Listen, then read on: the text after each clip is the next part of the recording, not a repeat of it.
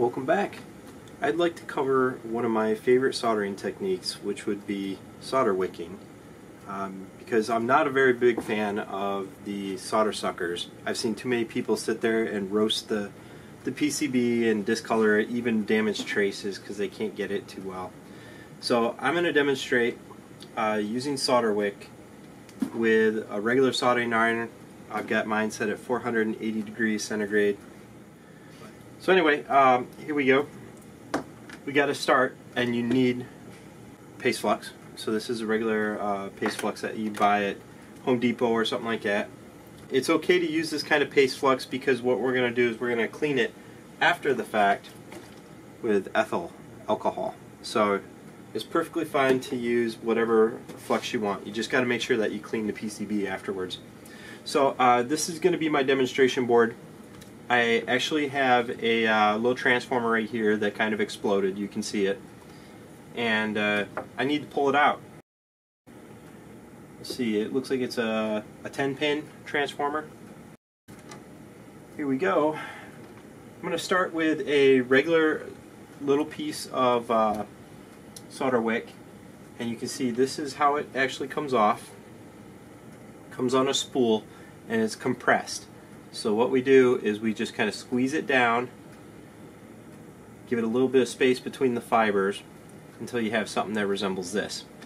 And then, because solder conducts heat into the copper really well, you're going to need some pliers or a set of forceps.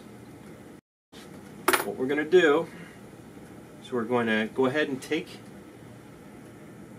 that wick and we're going to just drape it in the uh, paste flux. Get it kind of sticky. There we go. Okay. You can see these pins right here are all the pins for my transformer that I'm going to pull. First step is going to be clean the solder tip of your iron. So you want to make sure that the tip of your iron is nice and shiny. And we're going to start.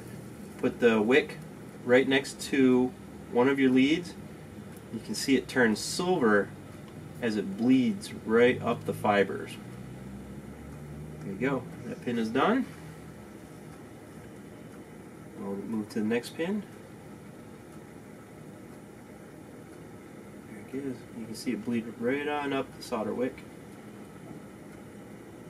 Actually, I can do this much faster. I'm kind of slowing it down for the camera. You can see all those holes perfectly clean, ready to drop out. Now I'm going to flip it over. We're going to use the other side.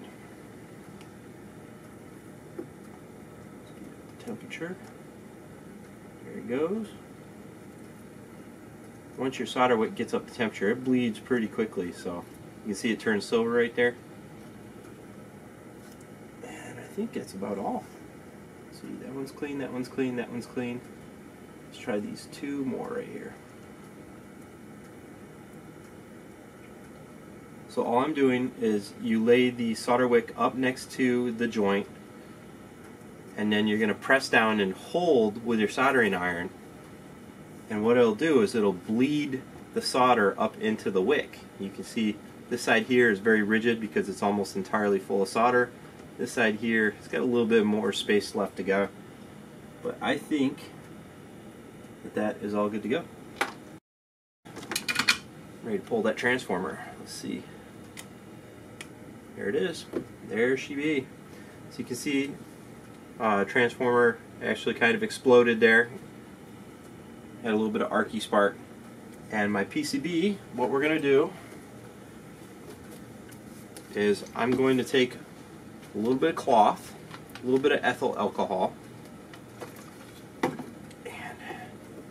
just going to dab it at the circuit board.